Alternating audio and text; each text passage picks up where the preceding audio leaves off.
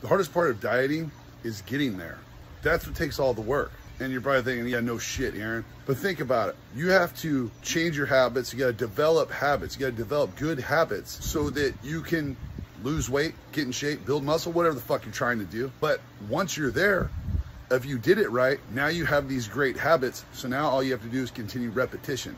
Hard part's over. If you don't know what you're doing or how to eat when you get there, well, then it was all for nothing because then you're just gonna fucking hit your goal and then fall apart. And then what did you accomplish? Nothing.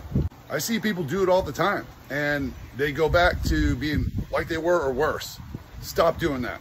In my book, The Supernatural Lifestyle, I lay out everything you need to know and it's easy to read. I give you your food choices, how to group them together, and when to eat them. None of this stuff is difficult. None of it is fucking rocket science. There is some science involved, but I speak about it plainly so you can understand. But if you want to skip all that shit, you can go straight to the back and use the templates so you get started right away.